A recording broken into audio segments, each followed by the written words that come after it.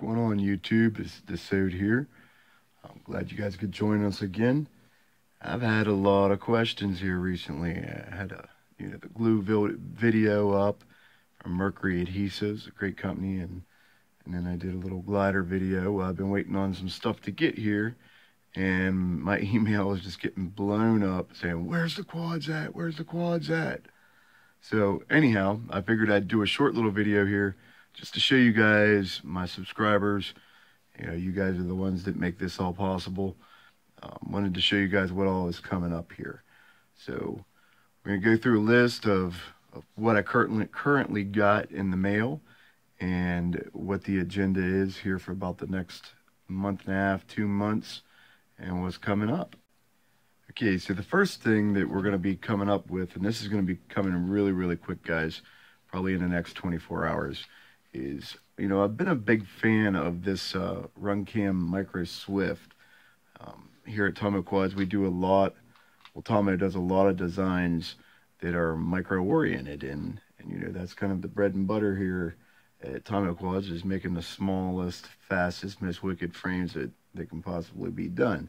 But anyhow, we love this camera because it's so small and it does, you know, just everything from low light in the evening when you're past that twilight stage and, and you want to be out there flying and other cameras won't let it let you do that and does it in a very, very lightweight form. So we've always been a big fan of the Micro Swift. So the other day, Runcam sent me this.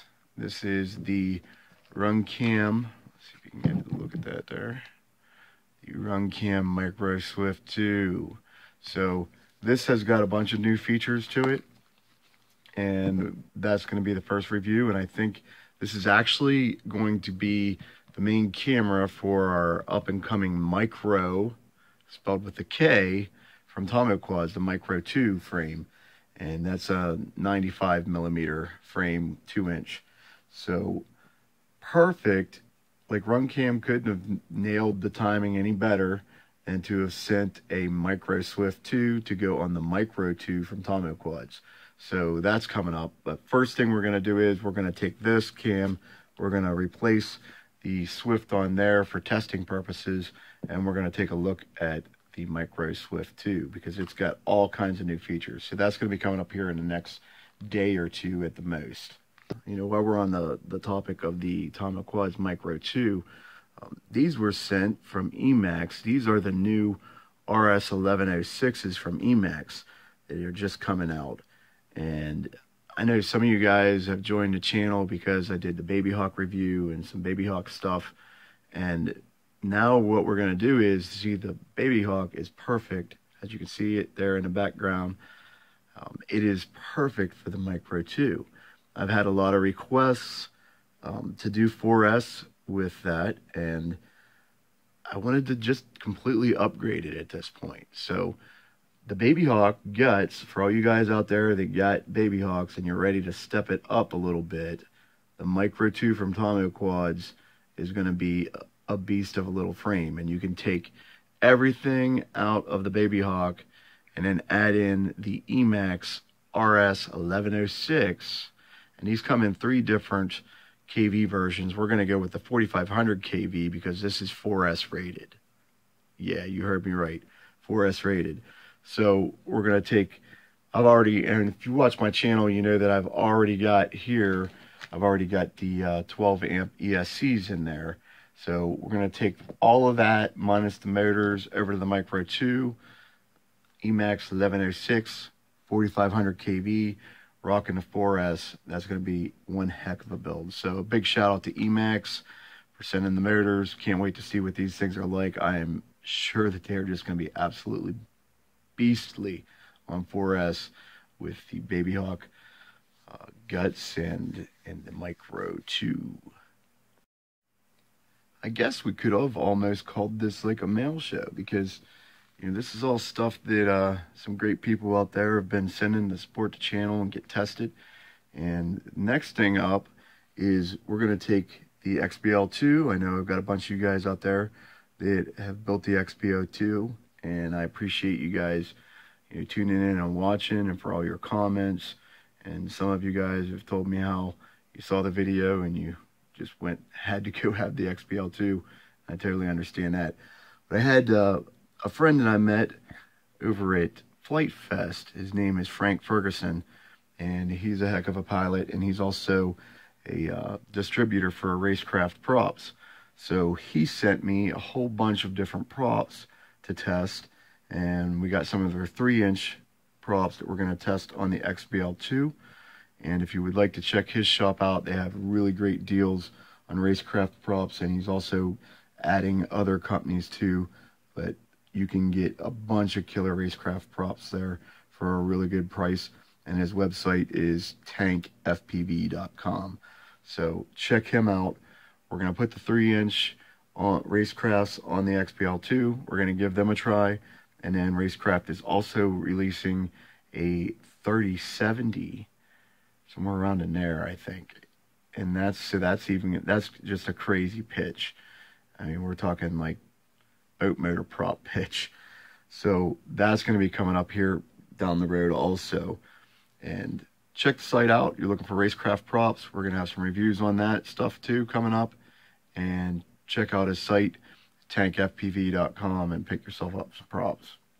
So as soon as we get done with the Tomo Quads Mikro 2, this little guy is coming up right after that. And this is the Tomo Quads Little Predator X racing frame. This is a 90 millimeter frame and we're going to run 1106s on it also, but we're going to go 3S.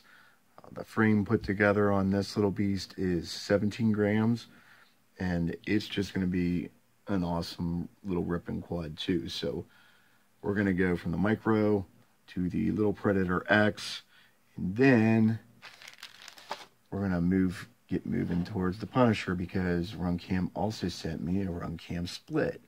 So any of you guys that are you know, interested in getting ready for the Punisher because you know that's coming up. Keep an eye out for a review coming very soon on the Runcam Split too because it's going to fit. We're actually designed the Punisher around the Runcam Split, and Runcam was gracious enough to send us one of those to test in the build and, and, and work out all of that. So that's one of the parts that you can get ready for the Punisher. Real quick, you know, you guys heard me talking about the Punisher. what is the Punisher? The Punisher is going to be a frame that kind of has to do with the disc loading thing. Um, it's going to be a 68 gram frame. It's a little bit more beefy than like the floss, but not by much, but just enough so that it doesn't, it's not as fragile as the floss, but it's not going to take away from the performance of it. And it's going to have interchangeable arms you can run four inch and you can run five inch props on it.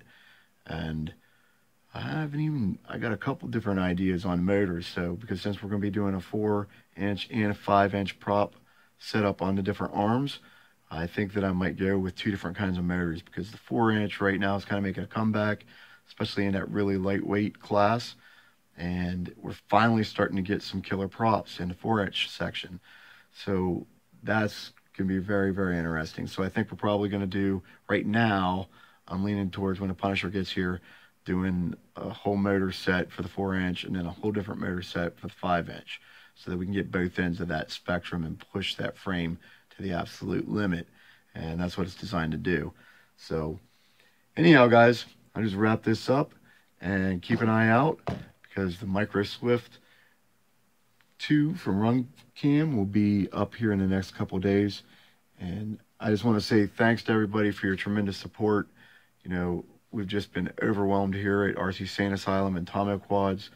You know, Runcam showing their support and Emax showing their support and, and Racecraft sending some props. And just, it's just been the comments, the emails. Thanks, guys. We really, really appreciate it. And if you like what we're doing here, always stop by, leave a comment. You got any questions? those of you that are subscribers, you know that I go the extra mile, mile for my subscribers. If you have any problems, I will be there 100% every second that I can possibly be to help you guys get through anything. But, all right, guys, keep tuned on the channel. It's Sewed out from Tomo Quads. Peace. Happy flights.